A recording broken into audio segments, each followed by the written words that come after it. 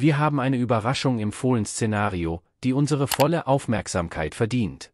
Ka Itakura, der japanische Nationalspieler, der ein Schlüsselspieler in der Abwehr der Fohlen war, steht im Mittelpunkt einer unerwarteten Wende.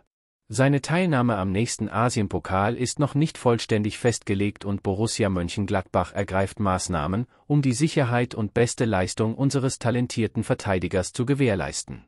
An diesem Dienstag gab Roland Wirkus, Sportdirektor von Gladbach, bekannt, dass die Teilnahme von K. Itakura am nächsten Asiencup noch nicht zu 100% feststeht. Obwohl Itakura die letzten Tage bei der japanischen Nationalmannschaft verbracht hat, wird er zunächst an den Niederrhein zurückkehren und mit der Mannschaft weiter trainieren.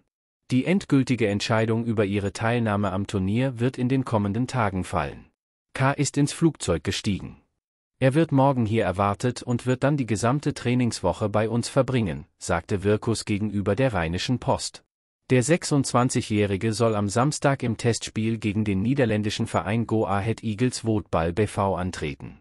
Ein Schritt, der darauf abzielt, sicherzustellen, dass Itakura völlig fit und risikofrei ist, bevor er über seine entscheidende Rolle beim Asienpokal entscheidet.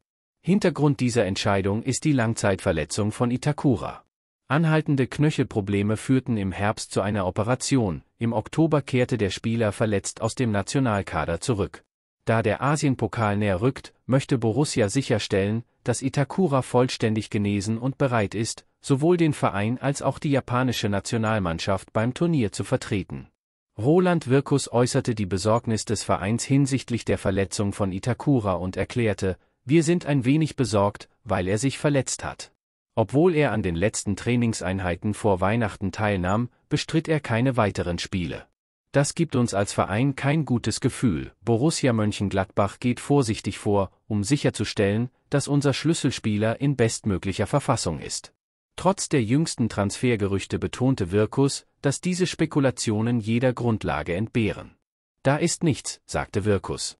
Er versicherte den Fans, dass Itakura wie alle anderen Spieler eine entscheidende Rolle in der Mannschaft spielt und dass Borussia Mönchengladbach auf die gesamte Mannschaft setzt, um seine Ziele zu erreichen.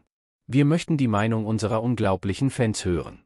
Wie empfinden Sie die Unsicherheit im Zusammenhang mit der Teilnahme von K. Itakura am Asien Cup?